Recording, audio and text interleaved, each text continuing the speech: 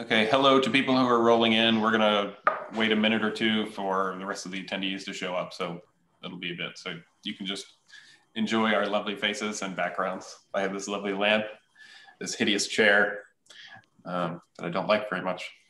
It's not comfortable, but that's okay. You have to do it with my white background, you know. So that's uh, that's what it is. That's uh, yeah. See, it doesn't. I can't tell if there's like anything. Interesting. Yeah, it's, it's even it's real. I mean, you know, I mean, I was thinking about putting a virtual one, but you know, I don't need it because it's you know it is what it is. So yeah, just the white unless unless you want to do shameless advertising for your institute. Yeah, exactly, exactly. That yeah, yeah, that's true. I could do that. Maybe I can call someone. I mean, uh, that's what you do actually. You know, that's uh, exactly, yes. Yeah, exactly. Yes. Yeah, yeah. Do they make you? Do they make you put that up, or do you pick? No. Do you, no. Okay. No. No. Because I know I know some people at the beginning, some some some schools were like making making professors use the slides or use the hmm. backgrounds, but it yeah, seems yeah, to be more common now, just choice, I guess. Yeah, I, I started that during my teaching because I, I thought that otherwise might be distracting for the students. Mm. Just yeah, look all, at all the funny things that, that I may have behind me rather than at you trying to explain. But. Yeah. Okay. Hey everyone, to people who are still rolling in, we're we're letting the rest of the attendees show up, so it'll be. Um, we're going to wait for the attendee count to slow down a little bit. Um, about I don't know, probably 30 seconds. Um, I mean, there is something to be said though for having interesting things in your background. Like I, I moved and I used to have a piano, and like I think that I, it, it made me seem more interesting than I am. now I have nothing. I've just got this lamp and chair. Yeah. Okay, it looks like the attendee count is starting to slow down. So why don't we go ahead and uh, get started for the day. So everyone, welcome to the Microstructure Exchange. I am Cameron Pfeiffer. I'm from the University of Oregon. Um, and so today we have, we're delighted to have Hans de Heerse which I screwed up. I'm sorry.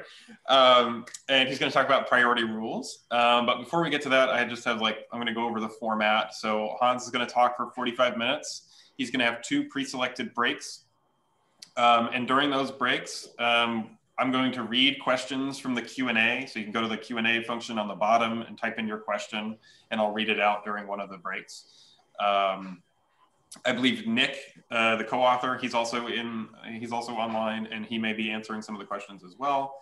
Um, and then after the 45 minute presentation, there's going to be a 15 minute Q&A where uh, it's over voice. So you can raise your hand, we'll call on you to turn on your mic, and you can talk to Hans directly.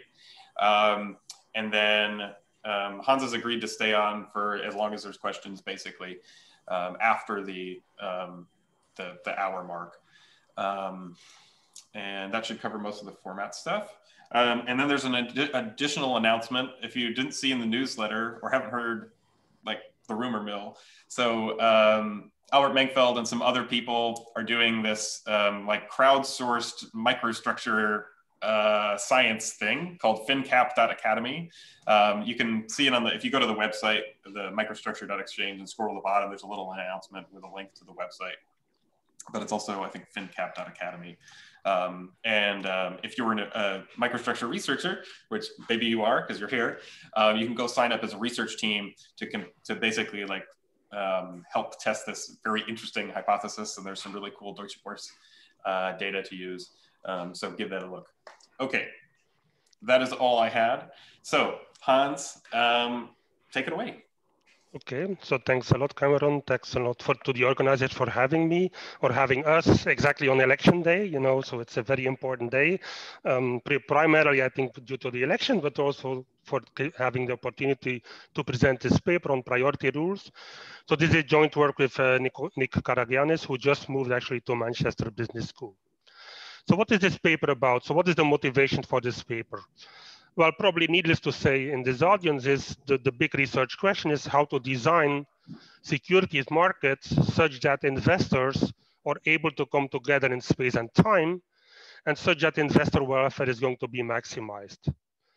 And priority rules are an important element of this market design in reaching this objective. The reason is that priority rules determine how trades are going to be allocated within a venue, but also across venues.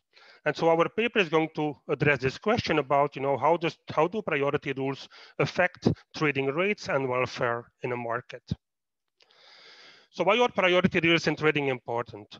Well, if we look at most jurisdictions, most countries, we observe that they have a best execution obligation, that is they have price priority.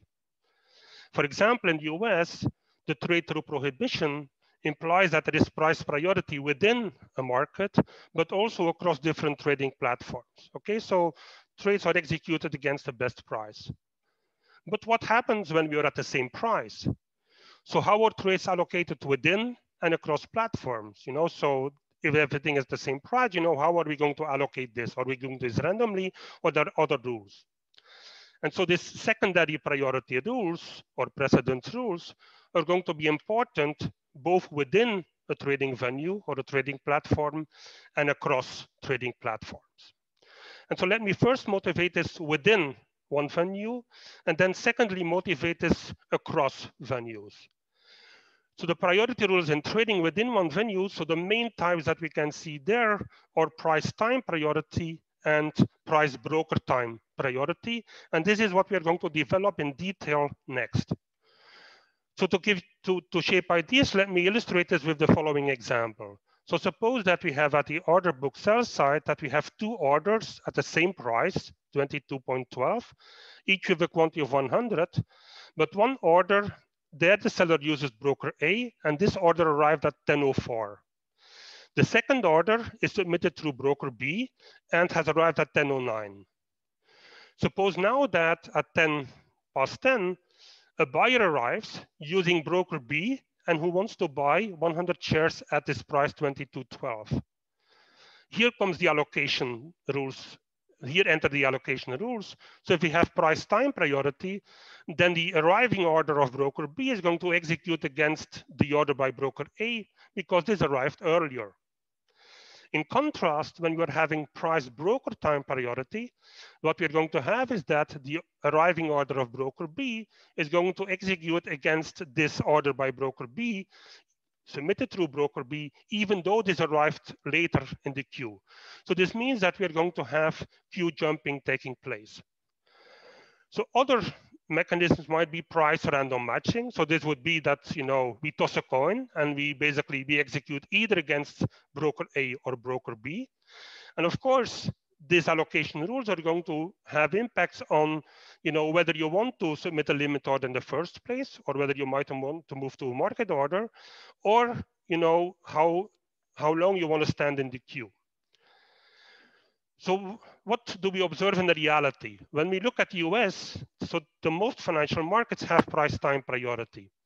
However, before 1996, some of the exchanges had price broker time priority.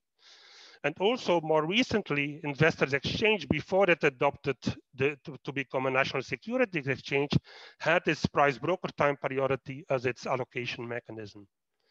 Furthermore, the New York Stock Exchange uses a parity priority model, somehow the main idea there being that later arriving orders may actually jump the queue. So it's not always price time priority that is taking place in markets. When we look at Canadian financial markets, there we have price broker time priority, PBT. In Europe, the Nordic countries have PBT. The Euronext, its internal matching service has PBT. And even with the MIFID II, so the Market in Financial Instruments Directive, the second version of this, you know, the European regulation, even has frequent batch auctions with having, in some cases, broker price time priority. That is just to say, you know, there is an additional layer in between price and time that might play an important role. So this is for one venue. Let's then focus on, you know, across venues again, when we are looking at you know orders across venues, there we are going to have price priority. But when at the same price, some brokers may have a preference for one platform over another. And there could be several reasons for this. One reason could be that you know there is an affiliated venue because a broker has an ownership stake in a particular venue and therefore when at the same price is going to direct all its order flow to that particular platform. Maybe there are volume-based fees, you know, that a broker can pocket, and therefore it's going to send all its orders to the same platform. So this could imply that we have a price platform time priority. And we may have the situation where every broker may prefer another platform due to these different affiliated venues, okay? And so what we're going to study here is, you know, in our setup, we're going to try to study, you know, what is the impact of this additional layer in terms of secondary priority rule in allocation decisions. So what are our research questions? So the first research question is, is there a one size fits all priority rule that is going to maximize welfare?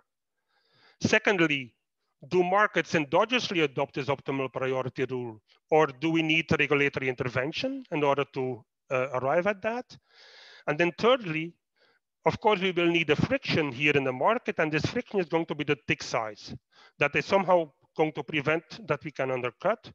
And so what we're going to exploit here is the role of the relative tick size. And so when I'm talking about tick size, we should think about the tick size relative to the dispersion in the private values for the assets. Okay, so that's the relative tick size that, that we're after, and we're going to look at the role of this relative tick size in the optimal um, um, priority rule that is, that is at work. So let me very briefly go over the related literature. So there is lots of related literature on limit order books what we contribute to this literature is put in red there, is that, so typically those models have either limit order staying in the book for one period, or if not, they assume price time priority. So we are going to look at other allocation rules. We contribute to the literature on over-the-counter markets. Again, typically there is, there is no queuing or random allocation is assumed. We contribute to the literature on trading on multiple platforms because we are going to look at priority rules within one venue or preferencing of platforms. And finally, we are also contributing to the literature on queuing and speed in markets because we are looking at the role of priority rules in this, um, in this game. So let me come to the main takeaways. So before you know you all go out and vote, um, I hope you do that. Um, so what are the main takeaways? So firstly, priority rules are going to determine trading volume and investor welfare. And what we're going to have is that with small relative ticks, that means, or that is, the tick relative to, heterogeneity in private values, welfare is going to be higher with price time priority. In contrast, when we have wide ticks, welfare is going to be higher with price broker time priority. Secondly, when brokers are offered a choice, then between price time and price broker time, brokers are going to adopt price broker time when they are offered the choice. And so regulatory intervention may be required when the tick is small because in that case, we have that price time priority is preferred. And then finally, as a side note, you're going to argue that markets that have price time priority are actually going to provide incentives for of exchange reporting because you may have incentives to take some orders out of the queue such that they are going to be executed. So maybe let me stop here for the first round of Q&A, um, um, Cameron. Okay, we don't have any questions yet in the Q&A, but I have one actually, okay, a clarifying please. question. So is the the mechanism here for for PBT is that um, brokers having an internal matching engine, or is that at the exchange level? The exchange so, implements PBT. So this is so so this is at the exchange level. So thanks for your question. So this is at the exchange level. So so it's often the exchange who is implementing, who is basically offering the service, if you want, to the broker, such that all orders are going to go to the exchange. But indeed, if there is a standing order in the book, that could be executed against you know your own arriving market order that is going to be um, going to be executed. So this is not it's not internalization. It's internalization if you want but on the book offered by the by the exchange.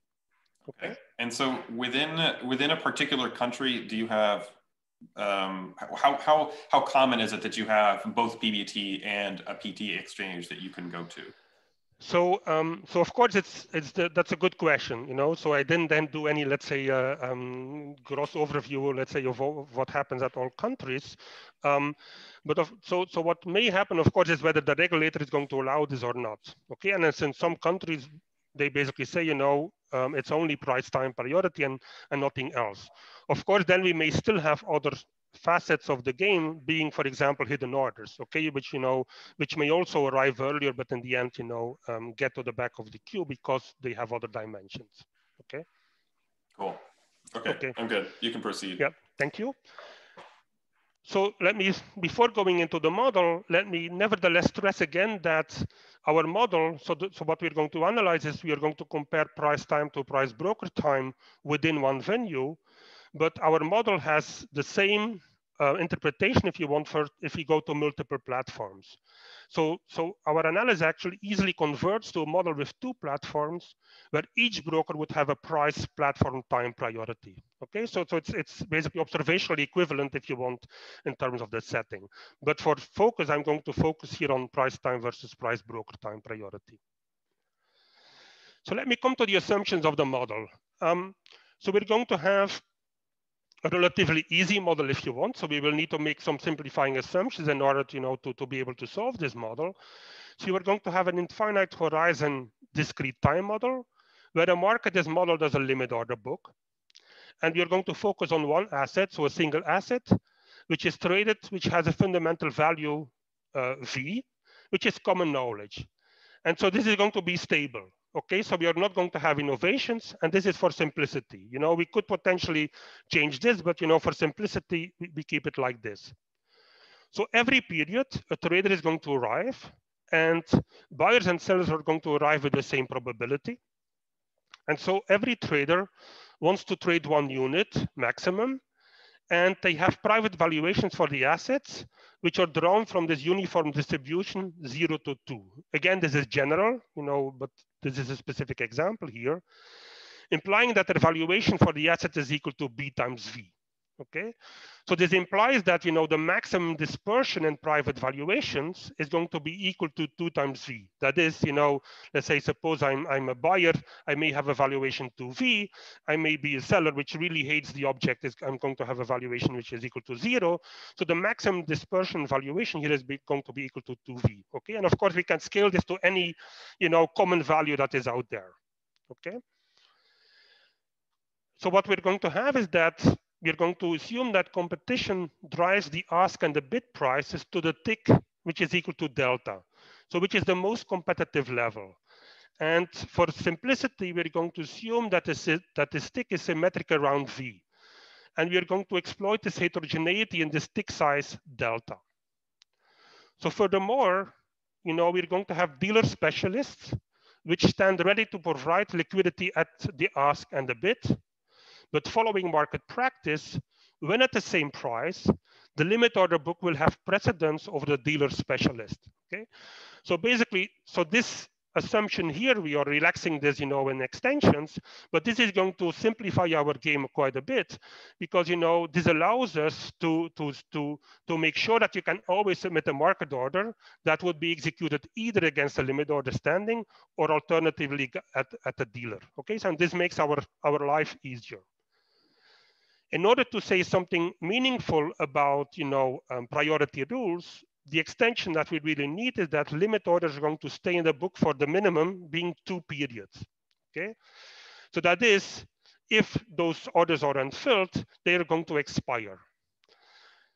So we assume two brokers, and so again, the minimum that we need, that have equal market shares of buyers and sellers, and every investor is going to be affiliated to one broker. Okay, so that's going to be the friction. You know, so an investor is affiliated to one broker, um, so you do not affiliate with two brokers because, of course, that would solve the problem. But that's the friction you're having in our model.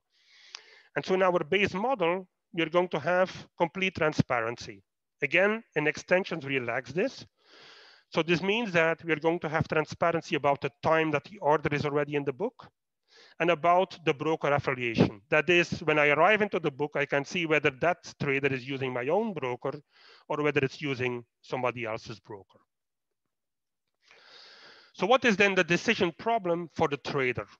Well, upon arrival, a trader will be able to trade either through a market order, through a limit order, or simply refrain from trading because maybe you like the object a lot. Okay? And so the trader's decision is going to be influenced by her personal valuation, whether she's a buyer or a seller, the state of the order book, and I'm going to, to explain this in detail next. And thirdly, in case of price broker time, her broker affiliation. Okay, and we are going to solve for the Markov steady state equilibrium of the game. So let me now come to the model and focus on the relevant states with price time priority. And so our design implies that you know there are only two relevant states. So, so let's focus here on the seller. Okay, so you know think about elections. You know, somebody sent me a shirt. You know, to me, and you know, and it was mentioning you know party. Okay, the problem was wrong party. Okay, you know, so it could have been one party or the other, but it's a wrong party. Okay. And basically, you know, I'm, I'm willing to sell that that document that uh, that uh, that shirt.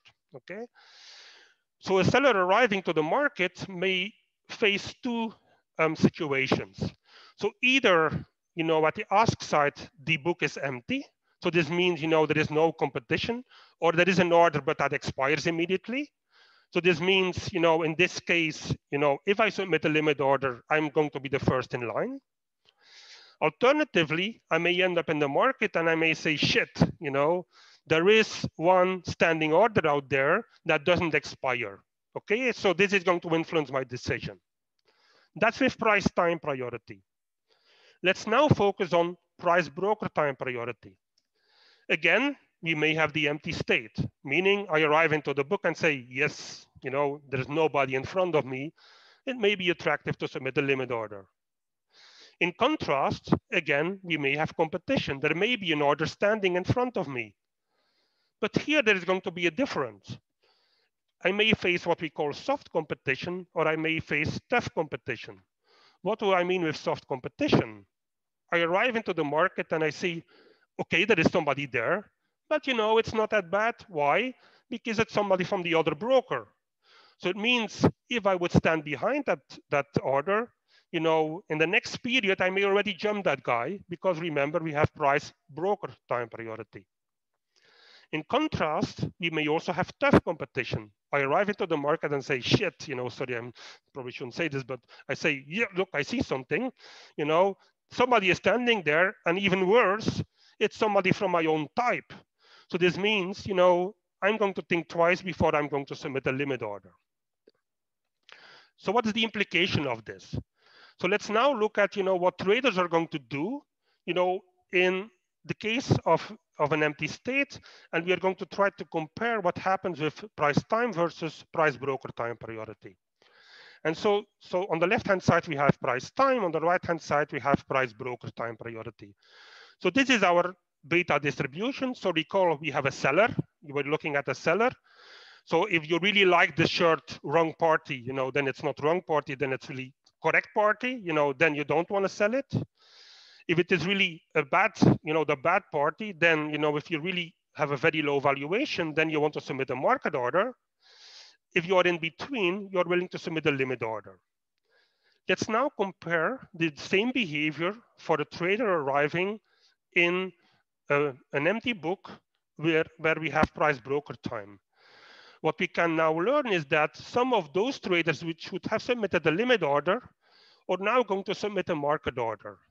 And the reason is that they anticipate that even though they are first in the queue, you know, somebody else may stand behind them and they may be jumped later on.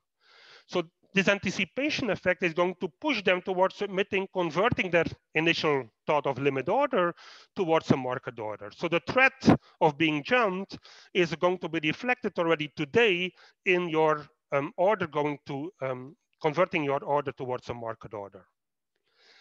Let's now look at the competition state. So that is, there is somebody standing in front of me and this order doesn't expire immediately. So again, people who have, let's say, a, a large, a very low willingness to pay, you know, very low private values are going to submit a market order. Those in between a limit order and the others are not going to trade at all. Let's again compare the left-hand side, which is price time relative to PBT, soft competition and tough competition. Suppose we have soft competition. So there is somebody in front of me. Now in this case, you know, and it's even somebody from, from the other side of the market, that is who is using another broker, the implication is going to be that some people are going to say, instead of submitting a market order, I'm going to join the queue. Why? It's as if the queue is much shorter than with price time priority. So we have a queue joining effect. In contrast, when we have tough competition, you know, then I see there is somebody standing in front of me. Okay, I will not, and it uses the same broker. I cannot jump that guy. If I stand behind that person, I may be jumped in the future myself. Okay, so this means that some of those people are going to also convert towards a market order. If we aggregate those two effects, what we see is that on average, there is going to be a queue joining effect when you're talking about price broker time. So intuitively, it's as if the queue is not that long because you know there is a likelihood that you will be able to jump um, the queue later on. Okay. So what are then our empirical predictions? Well, you know, as already mentioned, you know, when we have the empty state, we have this anticipation effect with price broker time. So we're going to see more people submitting market orders. When there is competition, we are going to see more traders having a queue joining effect. That is, they want to join the queue in case we have price broker time. And so those two forces are going to determine, you know, the, the, the behavior of the traders and ultimately the trading rate and the welfare of investors. Okay. So what are the, so maybe I should, is it, is it okay if I stop here for a second, maybe, you know, for the Q&A, second Q&A? Sure. Yeah, actually we have a, we have a good question from Pankaj. Um, okay. So um, Pankaj's question is that actually a really interesting one for this model, um, is how important this quantity assumption is, right? Because you have you have homogenous traders who always demand one unit.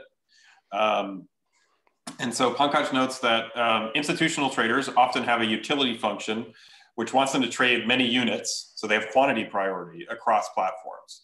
So um, sacrificing, they, they sacrifice some like price benefit to trade larger quantities. Um, and so it's basically why uh, the SEC allowed intermarket sweep order exceptions to the Reg NMS price requirements. So do you have a feeling for how important that homogeneity is in your model? So that's that's a very good question and very tough one to to to answer. I mean, so we haven't thought about let's say volume heterogeneity. Um, um, so of course, one one thing would be, I mean, I'm going to to come back, let's say, to this to this uh, pro rata matching, you know, um, and so that would be, so to some extent, you know, by putting in larger quantities, you would have maybe a larger likelihood, or at least let's say a lot, let's say the same fraction, you would be able to execute, let's say, larger larger fractions. Um, so so of course, if you have, let's say, larger volumes, which would be um, um, having, let's say, a potential preferential treatment, then to the extent you know that let's say the, the, the smaller traders are taking this into account you know this might be actually with the NYSE um, ID you know if those floor traders have actually some more priority over the limit orders then in that case you know you're going to be even more pushed towards submitting market orders okay? So so that's i think you know would be one additional force to submitting more market orders even more than what we have now. Okay? Yeah um, we also have another question from uh, Marius Zoican, mm-hmm. um, which is, so in practice, can traders know the broker affiliation of other orders? So do you see the broker ID? So that's a good question. So I think, you know, if I'm correctly informed, for example, in the Nordic markets, they can. Um, but it, this is also not crucial for our model. So we also solve the game, you know, where we don't have this broker affiliation. The game actually becomes even easier and the main insights remain the same. So it's still, if, if there is somebody in front of you, you know, it's still, um, you're still having this anticipation effect, you know, that, you know, you may still be jumped with a, with a, with a certain likelihood. Firstly, and secondly, you know, even if it would not be, let's say, completely transparent, it could be that the broker know, I mean, let's say assume that the broker monitors the game the broker should know somehow, you know, where this order is in the queue. Um, you know, and so the broker may actually use, potentially use this information to optimally, you know, um, how should I say, pass on the order. So even if it is not publicly available, maybe the broker has the information and could use it in its decision making. Cool. Those are the two questions we have for now, so you can okay. continue. Yep. Thank you. Okay, so let me then come to the empirical predictions. So I'm not going to spend too much time on the first one. So we have, as in Parlour's, as in Christine Parlour's paper, we have again systematic patterns in order flow, which have nothing to do with information. And the systematic patterns are going to differ between price time and price broker time. And so in particular, what we have is that if there is price broker time, this is the queue joining effect, you're actually going to, it's more likely that you're going to see cons two consecutive limit orders arriving in the game than, um, than in the price time priority um, um, uh, rule. A second thing, I'm kind of struggling here. A second thing is is that we have empirical predictions related to depth, to the depth of the market, at least the depth of the limit order book. And so what we find is that the average depth is lower in the price broker time compared to price time priority. And so you could say that this is a, let's say a little bit different than the Foucault and Menkveld result, because you know, if you think about a multiple platform theory, they are having more liquidity. The reason for this result is the anticipation effect. So here in this game, you know, if there is an order standing, a limit order standing, this is going to push some traders to submit a market order instead of a limit order. And so the implication is going to be that a limit order book is going to be less deep. That is, you know, it's less often there's going to be a limit order in case of um, of price broker time. And so that's different if you want relative to the to the to Thierry's and, and Albert's paper, because there, you know, you cannot switch between market orders and limit orders. There is no choice. And so that's a different result. And then the second thing that we are having here is that, you know, that we are going to see more volatility in depth because, you know, with price broker time, you know, you may jump the queue and an order may expire at the same point in time. So you might have much more volatile depth. So let me now try to convince you of the role of the heterogeneity in the tick size and try to compare the two forces, so recall we have the anticipation effect and we have the queue joining effect, the different role they play when comparing situations where the tick is small relative to situation where the tick is wide. And so I'm going to compare PBT relative to PT. So it's a relative comparison. So think about when the tick is small. Think about it's very, very, very tiny, okay? Then the anticipation effect is going to be quite large. Why is this? you know, converting your limit order into a market order is not very costly because you know the tick is very small. So you know you pay the spread, but the spread is very small. This is going to imply that we're going to have lots of trades, you know, so we're going to have a higher trading rate. But since there are few limit orders in the book, we're going to have lots of trades against the dealer specialist and few trades among each other, among traders, among investors, okay? And so since you're caring here in this model, you know, only about investor welfare, you know, because dealers, we model them as such that all the rents are competed away. You know, we only care here about investor welfare. This is going to imply that you have lower generated investor welfare. So you have this disconnect between trading and investor welfare because there's lots of intermediation going on. Let's focus on the situation where we have wide ticks. You know, if the tick is wide, it becomes interesting to start making the market, that is to submit limit orders. This also implies that with price broker time, this queue joining effect is going to be very considerable because it's very interesting to start behind because you may still jump later on. So you're going to have a lower trading rate, but the trades that you're going to execute are going to be mostly among traders themselves, among investors. And so this means that both sides of the trade are going to generate welfare. And so this is going to lead towards a higher generated investor welfare.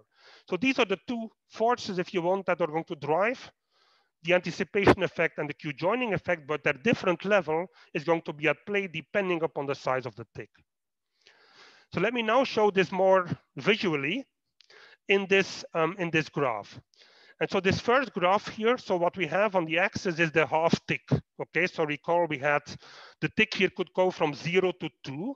Okay, so zero would be a perfectly, you know, no tick size. A tick, a half tick equal to one would mean, you know, this is the entire dispersion in, in, in, uh, in private values. Okay, and so what we have here is a difference in trading rates.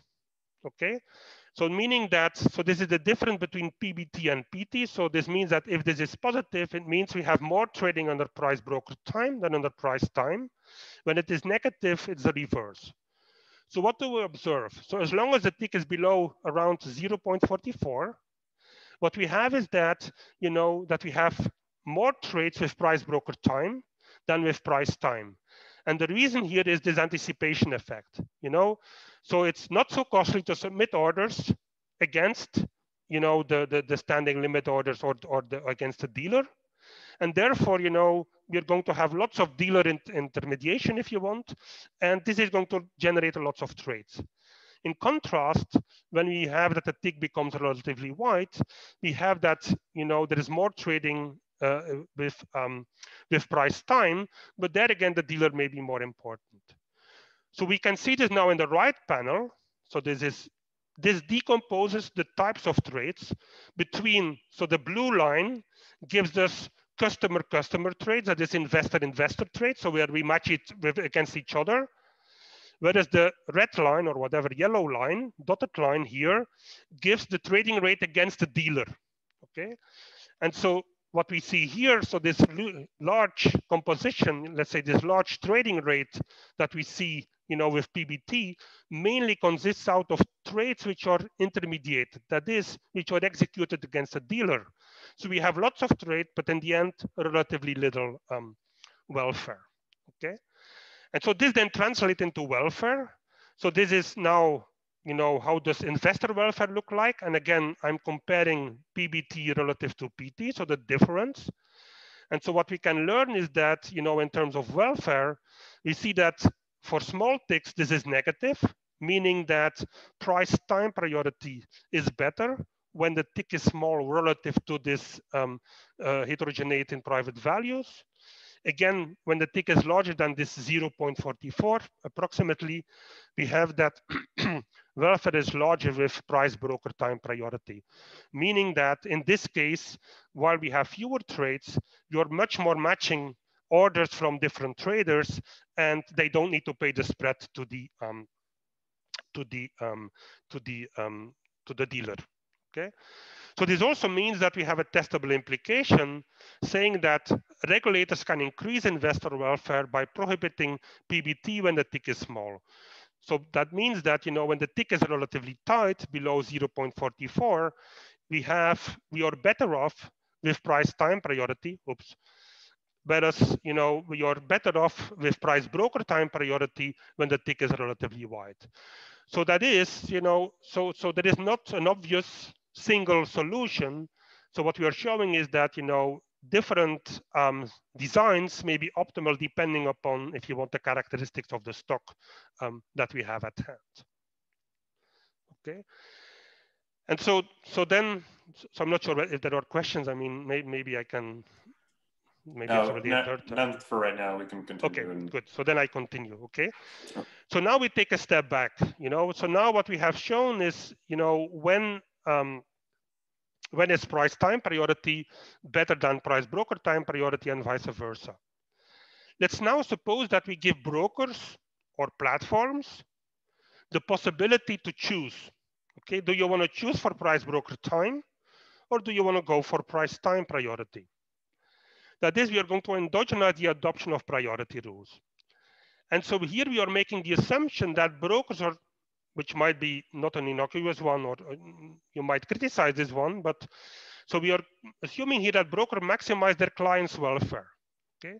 So I think, you know, even if that would not be the case, we would still get the same results. You know, suppose they would be able to charge fees, this would be related to clients' welfare, you know, so even in that case, I think our result would be reinforced what do we find? We find that it's actually a dominant strategy to adopt price broker time priority. So this means that, you know, independent of the others broker's action, you actually want to have price broker time priority because this is going to serve the needs of your client most. However, what you have is that when the tick is small, you're actually in a prisoner's dilemma you know, traders would actually be better off, you know, if they could say, look, we're, we are going to go for price time priority. But since we have the choice here, you know, brokers are going to endogenously choose for price broker time priority. So we have a prisoner's dilemma situation. When we have white ticks, there the price broker time coincides with the social planner's um, preferred outcome. okay? So let me, so let me now take a step back again. So that's another step back. I'm going to follow out of the building. I'm afraid if I take all these step backs, but so what we did now, and so this is not yet in the paper, is let's try to confront our theoretical model with the empirics. Okay, so you know, and in which situation are we? I mean, you know, are we in a situation, if you look at, let's say, at, at empirical um, um, outcomes, are we in a situation where it would be optimal to have price time priority? Or are we in a situation where we would want to have price broker time priority? So what we have shown is that, and of course, taking this model literally, what we have shown is that the critical relative tick delta, so delta tilde is about 40% of the dispersion private values.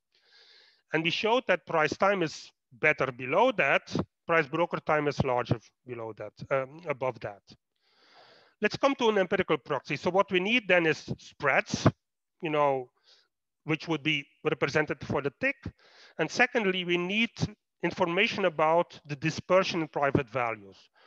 So when we look at the paper by Thierry and Albert, you know, what we find here is that what they are finding is that on average, the dispersion private values is about 185 basis points. But depending upon the quartile of stocks, it's ranging between 133 to 307 basis points. Their effective half spreads are on average 21 basis points with again variation from 8 to 46 basis points.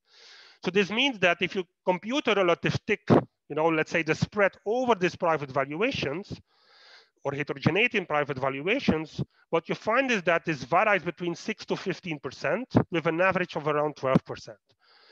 So this would suggest, you know, that at least for their stocks, that, you know, again, taking this model literally without anything else, you know, that we are in the range, delta is lower than this delta tilde of 44%, that price time priority is optimal. Of course, there may be huge variation within quartiles that we are not measuring here. Then the second thing we did was we looked at the paper by, by Katja and Andreas, you know, on cross-listed Canadian stock, there we have that the average spread is, is a little bit larger. Unfortunately, we do not have variation in private values, but let's say assume that they would be similar to the US ones, then I think we would come to relative tick sizes would be, which would be around 20 to 30% of the private values, okay? And then the final point, and that's something we still need to include in the paper is, we assume two brokers. So if we have more brokers, so if we increase the number of brokers, this is somehow reducing the difference between price broker time and price time, okay? So this means that this delta tilde is going to become smaller. So this means that, you know, we might actually more move towards a range where at least for some stocks, price broker time may be more, maybe optimal relative to price time. But again, take this with a grain of salt because, you know, we have been computing this, you know, very, very, very recently. Okay, so maybe I can, I can again um, if there are questions, I can stop here for a second and then maybe still five minutes if you want, you know, if, I, if you give me the time at least to continue. It's up to you. Um, okay, sure. I mean, we might as well. We've got two in here. Um, so Jose Penalva asks, um, so suppose you can control the tick size, right? I, imagine from the perspective of a regulator. Mm -hmm. then you would want to impose a ceiling on the tick size and impose PT. So is that accurate? Um, well, of course, I mean, if you can control the tick size, I mean, the optimal tick size here in this model would be zero.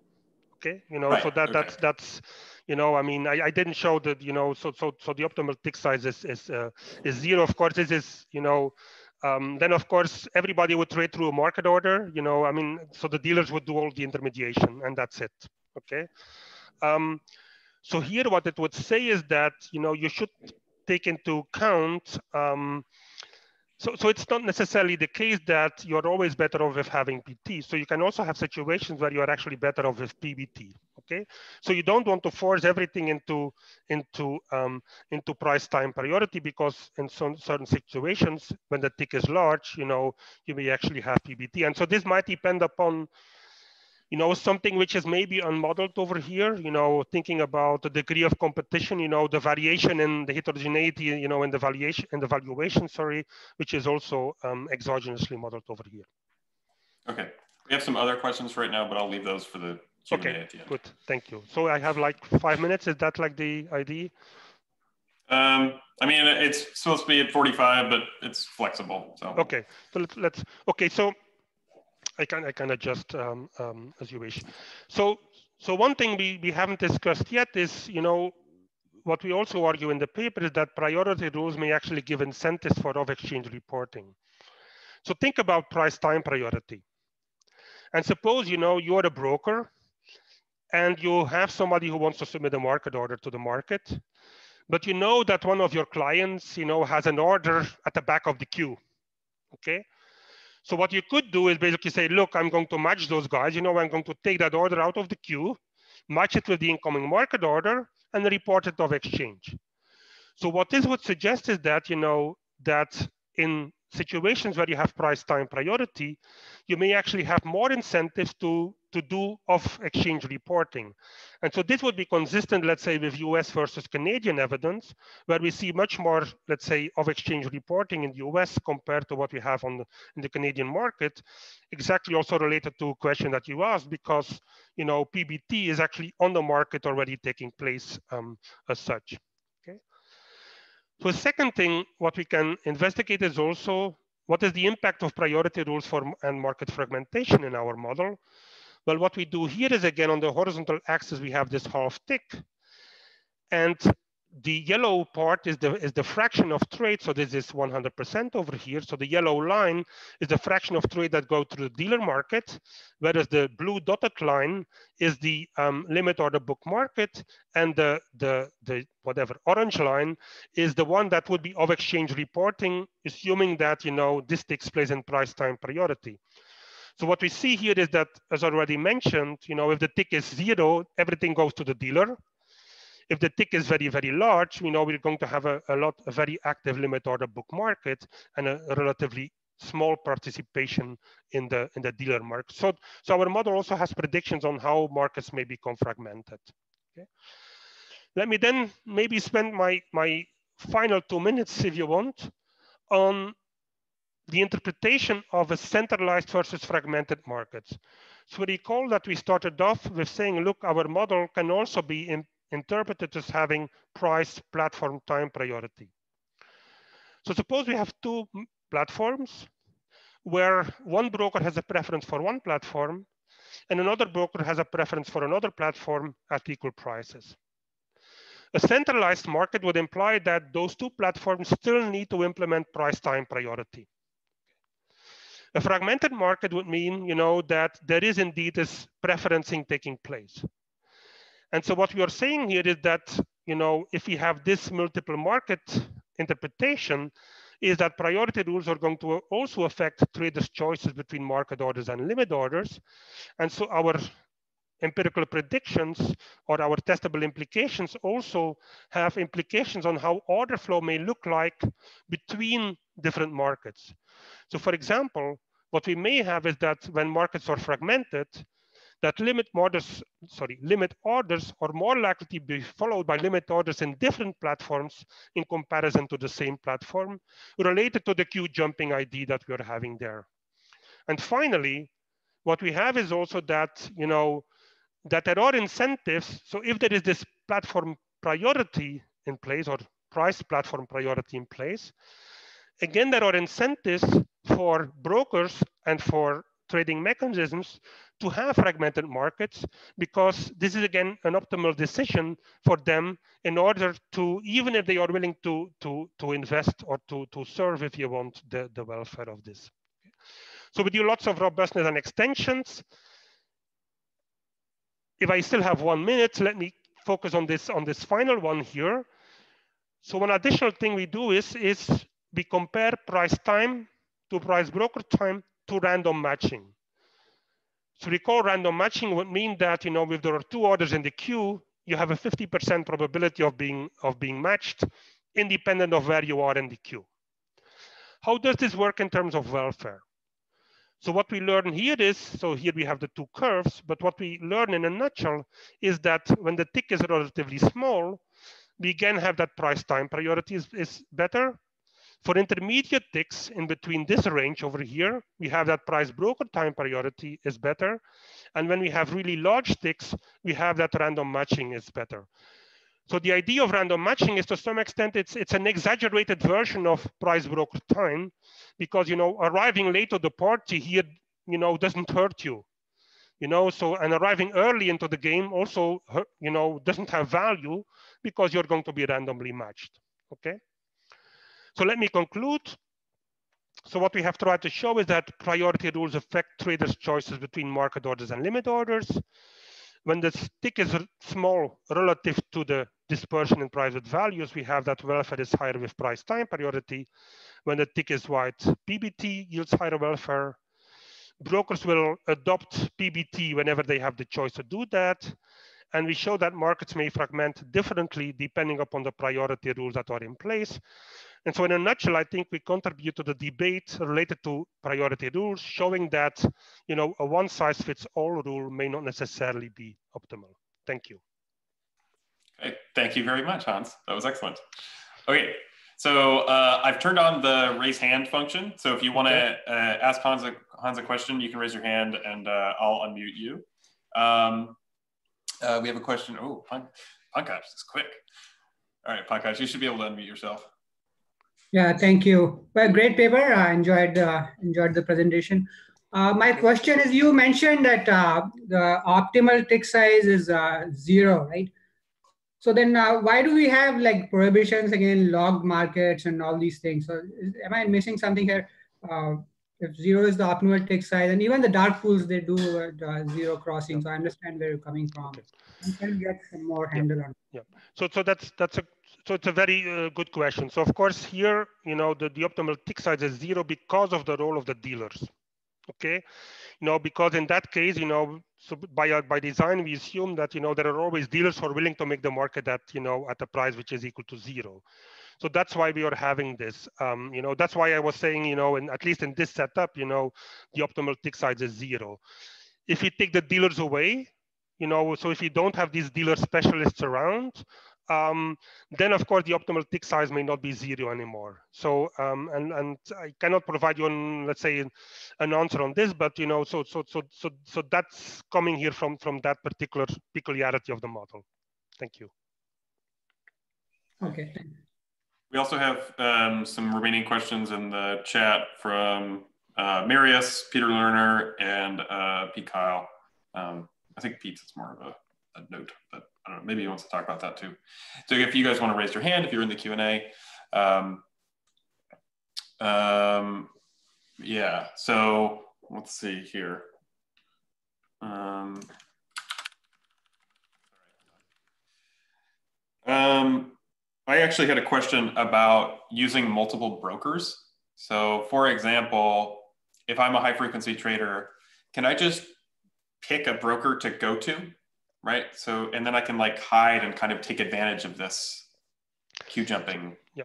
So that's that's that's a very good uh, suggestion and remark. So here we are assuming you know you can only have have one broker, and of course, you could think about, you know, um, so so here the idea would be, you know, that it is very difficult, you know, if you see another broker in the game, you know, you see, let's say, a limit order of your own broker, and you would want to submit a limit order that you first are going to say, look, I'm going to log into my other broker, you know, and then I'm going to submit my uh, my order. So that's something that, you know, that we are not assuming, but indeed, you know, I can imagine that there might be a group of traders who might be, you know, having connections to the different types of brokers, you know, um, and that could somehow undo the friction that we're having here. So, but but that's of course that's a friction you're somehow, you know, needing here in this model. You know, um, if we remove if we remove that friction, yeah, then we go back to let's say one one particular market. Thank you. Right. Okay, I think we have a question from Pete. Pete, I think you can yep. go ahead. Can you hear me? Yes. Yep, yes. we can hear you. Yeah. Okay.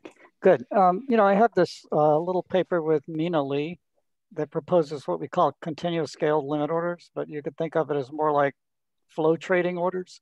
Mm-hmm. And that's essentially a zero tick size as well as a zero minimum lot size.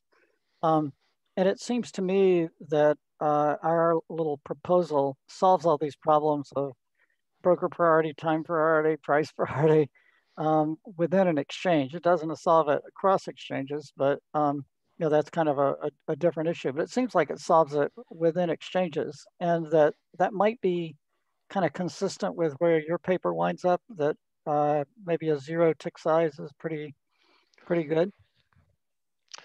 Yes, so so so, so thanks for your question. So I, I definitely need to have a, closer look at at, uh, at your paper. Um, so as I mentioned here, you know, the zero tick size, at least, you know, in the setup where we have the dealer specialist, you know, who can quote, let's say, without any cost, that that's that's driven by that. Um, we need to look into the game, you know, where we um, where we wouldn't have those dealer specialists. Um, secondly, and I think also, um, you know, the idea of having these multiple markets um, as you were saying, that's something that we definitely need to, you know, that we that we can uh, further spend time on. So I, I, need to look more into into this in order to to be able to provide you, let's say, a more uh, um, how should I say, informed uh, answer on this. Okay, thank you. Thank you. Okay, thank you. All right, so um, I don't see any further hands, so people still have questions. Um, but I did have another one, which is about um, how the dealers impact welfare. Because currently they're just, you know, they just absorb these trades and they're kind of, they have an mm-hmm. infinite mm-hmm. balance sheet. Mm-hmm. Um, and there's no sense in which um, dealers absorbing these trades in like when everyone is just relying on the specialist market mm-hmm. um, when tick sizes are small, big. I don't remember which one it was. Mm-hmm. Um, but it, have you guys looked at eh, eh, it, it allowing some kind of um, welfare cost to hitting the dealer? So, so, the, so here the welfare cost for hitting the dealer is, let's say, all the rents that the dealer can make. You know, so so so what we are assuming here for the dealer is, you know, that he has, let's say, the fundamental that he has that he values the stock at the fundamental value, and that he doesn't have, let's say, a private valuation for this. So it means that, you know, if he submits a limit, if he has, is making the market there, he's making some rent, right? Because he can basically, you know, sell the asset at, let's say, a relatively high price, you know, and for him, it has um, um, only a value which is equal to, let's say, to the, to the common to the common value of the of the stock. So what we are assuming is that, you know, in this model is that, you know, these rents that the dealer are making, that those are competed away by, let's say, competition. So, so the idea here is that you know, every dealer has a certain cost, you know, of monitoring the market. And these rents are, are, are competed away. And so this, it's actually a very interesting question because, so what we are assuming here is that, you know, that these dealers are somehow randomly selected, okay? Because if that wouldn't be the case, you know, if you would basically say there's also queue formation, you know, for the dealers, then in that case, you know, the queue position of the dealer would again potentially imply that the dealer may have certain rents, okay? And so this means that in this way, we somehow don't have that dealers are making profits. But nevertheless, let me show you one additional slide, if you allow me, is dealers are still making a, a huge indirect contribution to welfare because, you know, they facilitate trading, okay? And so what I what we have done here, and so this is not in the paper, is we basically look at the contribution. So if we compare the game price time, or let me start with price broker time.